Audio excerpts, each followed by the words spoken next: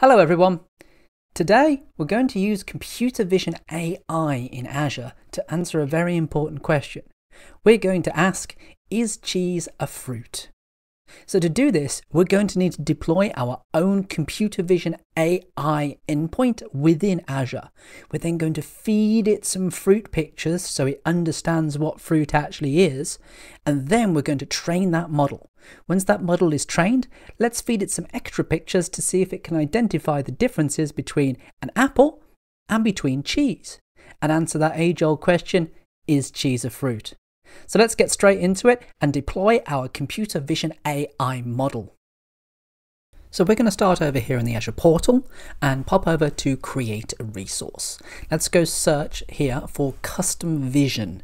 And this is going to be for our custom vision AI app that we're going to make. So on custom vision, we can just zoom out a little bit here and we can go and click create to create our custom vision environment that we're going to work with. This is going to ask for a few details to be filled in. So we're going to use the options of creating both prediction and training here.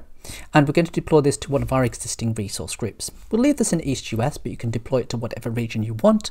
And I'm just going to name this Mike Custom Vision.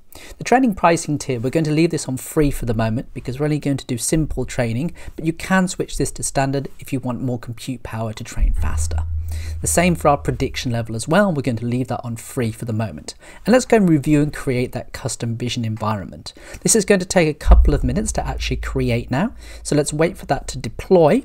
And it's going to deploy for us two separate objects inside Azure. One of these is going to be our custom vision training environment and the other is going to be our custom vision prediction environment. So let's just wait for those to actually go off and deploy. Okay, now if we go to the resource group, we will see that those two resources are deployed and I have two separate ones, one for training and one for prediction. So let's go off and use these custom vision resources. I'm going to pop over to Visual Studio Code now and I'm going to go and clone a repository that exists on GitHub. This contains a couple of bits of test code in C Sharp and in Python that will allow us to work with our custom vision API in a moment. So we can see here inside this Git repository, we have some lab files. And if we pop into these lab files, we have some training images. We have some images of apples, we have some images of oranges, and we have some images of bananas. And these are the images that we are actually going to use to train our computer vision AI and be able to identify these fruits. So we're going to pop over to customvision.ai. This is one of our interfaces into Microsoft's custom vision solution.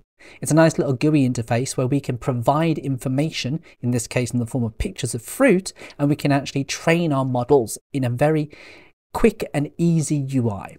So over here, we're going to create a new project and we're going to call this project um, classify fruit because that's what we're going to be doing. The description for this is going to be an image classification for fruit and this is going to be using our Mike custom vision resource that we created earlier. This is a classification type and this is actually going to be uh, a multi-class single tag per image and we're going to change this to a domain of uh, food because this custom vision AI actually has some general idea of what it is we're going to be looking for, but we're going to essentially provide it with more information that's more accurate, in this case, the fruits that we want to classify. So we're going to go and add our images and we need to tell it what these images actually are. So we also need to tag them as we upload them. So let's first of all come into these training images. Let's go into Apple and let's go and select all of our apples that are available to us at the moment. We're going to upload these apples and we're going to give them a tag. We're going to give them a tag of apple and we're going to do the same thing for the other fruits here as well. We're also going to go in here and going to upload the pictures of our bananas. We're also going to tag those pictures of bananas as well as we upload them.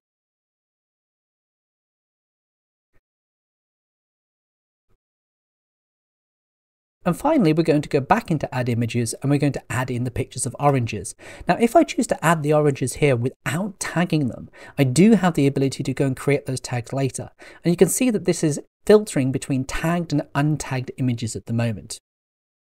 So what we can do is we can go and actually select all of these untagged images here, these pictures of oranges, and we can add a new tag and we'll just call that tag oranges or orange.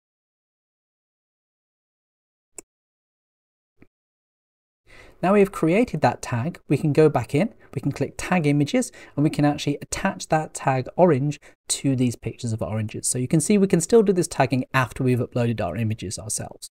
And we'll see we've got 15 apples, 15 bananas, and 15 oranges that are nicely tagged within the computer vision AI interface here. Now we're going to go and train the model. We've got two options. We've got quick training or advanced training. If we do advanced training, we can throw more compute power at this to get a more accurate model. But at the moment for the demo, let's just do some quick training. Now this training might take a few minutes to actually complete. The more information you give it, the longer it's going to take to complete, especially because this is on the free tier. So let's wait for that to complete its process at the moment.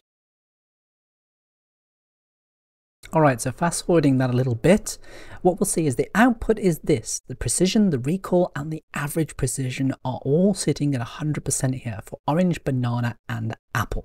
But of course, we want to go and test this ourselves. And that's why we have the option in the top right-hand corner for quick test. If we jump over to quick test, we can provide this with some images. We can either upload them or we can actually link to an image URL to see how this classification is actually working for us. So Let's go and pop out to Google Images and let's go and get a picture of an apple and see if it can identify the picture of an apple. So over here in Google Images, let's just go search for apple. Let's go and pick uh, a random picture of an apple here and we'll go and get the actual URL for that specific picture. Let's put that directly here into our image URL in our quick test so we can call it and we'll see what it comes back with. It's decided that this is a 98.6% probability of an apple, which is great. So let's go and try something else. Let's try something that it doesn't know about. Let's try some cheese. What happens if we provide this model with a picture of cheese?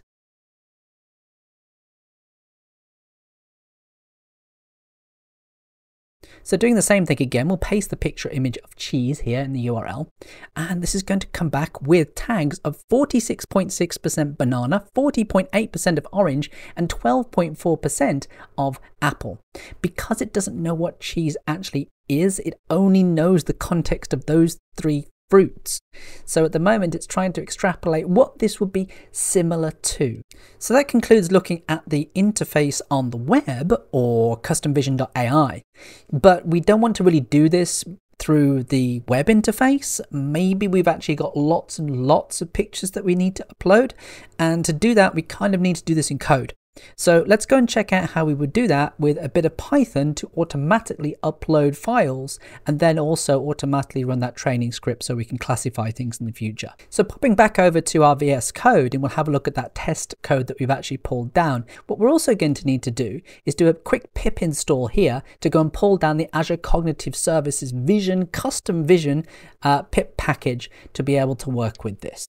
And now that's complete, what we're going to have to do is actually populate the environment variables of this script with some information. Where my training endpoint is, where my training key is, and where my project ID actually is. So let's go and grab that information from our custom vision API here, and we'll go and grab our project ID, we'll go and grab our training key, and we'll go and grab our training endpoint and insert all that into our environment variables here. So our Python script can pick those up. So now those environment variables are actually picked up and by the Python code, we can actually go and run this code. What this code is actually going to do is it's going to take some images that are actually sitting in a more dash training images folder inside the Python section here, and it's going to upload some more images here. So we can see that we can automatically upload images from within code just by communicating to the endpoints. So let's run that Python code now. So we can see this is now uploading these extra images into our project that's existing on computer vision. And it's going to initialize and kick off the training, or more to the point, the retraining, because we've added more data into this, more information, more pictures of bananas, oranges, and apples to be able to make a more accurate model. So let's wait for that training to actually complete.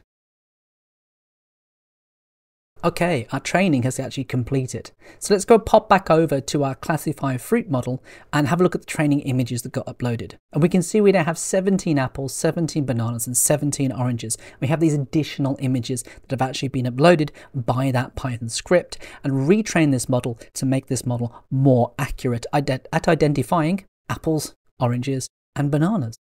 What we also want to do with this is not just train a model through using this Python code. We actually want to interact with this model by using Python code. So we can dynamically provide this endpoint images to actually classify and return to us some tags for those actual images. So let's go check that out now. So the first thing we need to do is actually publish this model. We're going to publish this model as a model name of fruit or uh, fruit classifier.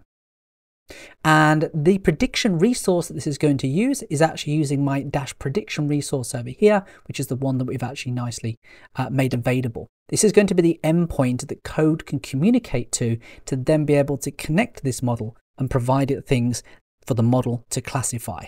So looking back at the code, we have another Python environment here. And this Python environment is the test classifier. We have three images, image test one, two, and three, that is actually going to submit um, pictures of fruit to the classifier and actually return a result with a tag of what that fruit actually is. So again, we have to go into the environment variables of this Python script and adjust these prediction endpoints, the prediction keys, the, the project IDs, and the model name that I'm actually going to use to communicate to. So remember, the training system and the actual final model are two separate things, two separate endpoints there uh, between actually where I'd upload data and where I'd actually communicate to the model. So now if we fire off that code for the Python test classifier py, we can see it's returning here. The first test image is actually that of an apple with 100% confidence, the test image 2 of a banana, 100% confidence, and test image 3 of an orange, 100% confidence. So I hope you enjoyed this, uh, this demo of how to use the computer vision AI. Now, of course, you can extrapolate this to thousands or even tens of thousands of images, but the process is still much the same. Submit it some test images that are already tagged to give the computer or give the AI information to know what to identify, and then you can go off and create yourself an endpoint here after training is complete to be able to send it further images that the Vision AI can come back and tag for you automatically. And you know the routine, hashtag like and subscribe, and I hope you enjoyed this video and will join me next time. Goodbye.